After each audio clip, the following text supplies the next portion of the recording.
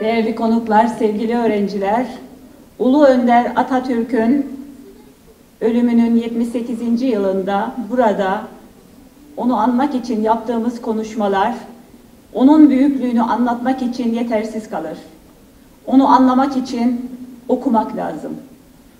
Askeri dehasını, Kurtuluş Savaşı'nda verdiği mücadeleyi, devrimlerini, inancını, kararlılığını, cesaretini okumak lazım. Vecizelerini okumak, öğrenmek lazım. O yılları düşündüğümüz zaman, o olanaksızlıkları düşündüğümüz zaman başarılarının ne kadar yüce, olağanüstü başarı olduğunu bir kez daha anlarız.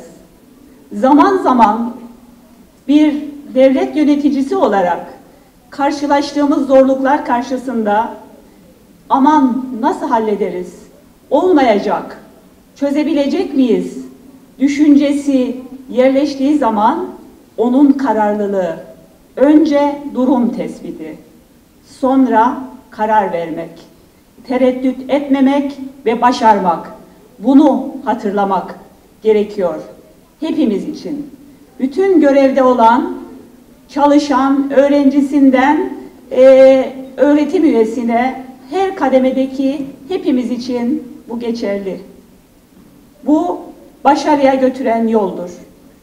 Atatürk sadece kararlılığıyla, devrimleriyle, yarattığı layık demokratik Türkiye Cumhuriyeti ile değil, dünyaya verdiği mesajlarla da ayrı bir e, değer kazanmış ve bu onu ölümsüz kılmıştır. Atatürk, dünya barışını, evrensel barışı her zaman savunmuş ve yurtta sulh, dünyada sulh demiştir. Atatürk, öylesine büyük erdemleri olan bir insandı ki, Çanakkale Savaşı'nda ülkesini istila etmek için gelen yabancı askerlerin orada hayatlarını kaybeden yabancı askerlerin ailelerine, annelerine, babalarına seslenmiş ve şöyle demiştir. Sizin evlatlarınız artık bizim evlatlarımızdır. İçiniz rahat olsun. Öylesine büyük erdemler taşıyan yüce bir liderdi.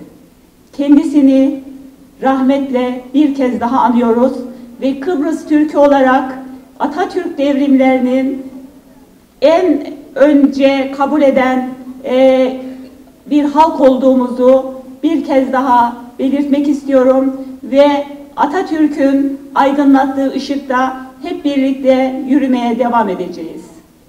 Ruhu şad olsun. Sağ olun.